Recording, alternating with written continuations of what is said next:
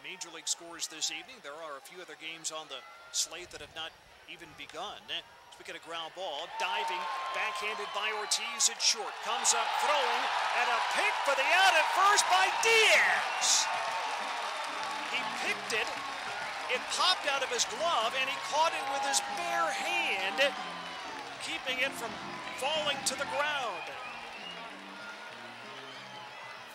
Quite a play on both ends, a dive and a backhand play by Ortiz. And then what a pick by Diaz.